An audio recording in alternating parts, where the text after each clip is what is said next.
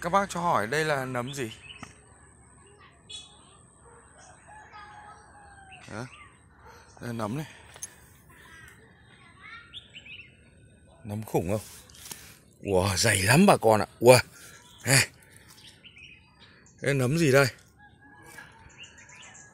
Wow Theo các bác nấm này ăn được không này? Wow Bóp nó như xốp ấy bà con ạ rồi.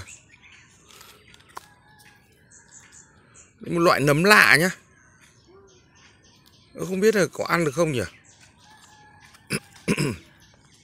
Để thử bẻ một tí ra nhé không bẻ được, như cao su luôn nhá.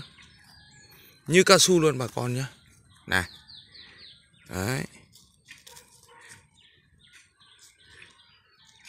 Ui. Ui như cao su luôn bà con ạ này là một cái cây cây ăn quả mình ờ, cắt bỏ. Thế bây giờ là cái gốc nó ra nấm này. Thì theo mọi người là có ăn được không? Ui ôi, Này, Nhá, Nhiều thế.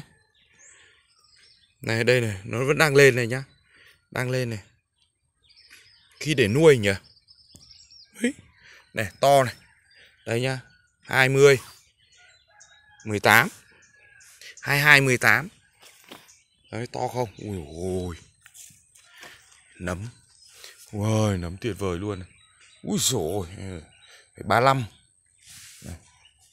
Đấy, này. Nhặt lên nhá. Chả hiểu nên nấm gì này. Không biết được có ăn được không? Không biết là có ăn được không? Đó Ui hồi Nấm. Đó, này Nấm đẹp không? Để dẫm, dẫm vào, dẫm chân. Dẫm chân này, cỏ. Úi Cỏ mọc trong nấm này. Đấy.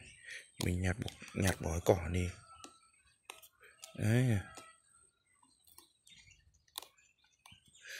Đấy. Đấy. Nấm này đang lớn này. Đang lớn to khủng luôn nhá. Ừ. Mọi người bảo là nấm này có ăn được không? Lên rừng lấy nấm thì chắc nó toàn nấm này Mà cái cây này cây ăn quả. Cây ăn quả mình chả, chả nhớ nó là cây gì. Tóm lại là trong vườn. Trong vườn từ lâu lắm cắt bỏ. Trong ờ, Để cho cây nó mọc trong vườn cổ thụ Cắt bỏ bây giờ. Tự nhiên nó lại lòi ra nấm này. Em vẫn ờ, ờ, để đây và em sẽ nhặt vào em cất. Nếu mà bác nào bảo ăn được hay là cần ăn hay là như nào, gói, em gói em gửi. Đấy. này, đập bạch bạch luôn như cao su nhá. Thế mới lạ này. Bẹo nó ra không được. Rất là chắc luôn. Đấy. ui ôi, chắc luôn thế mới kinh. Ghê quá. Nấm tuyệt vời.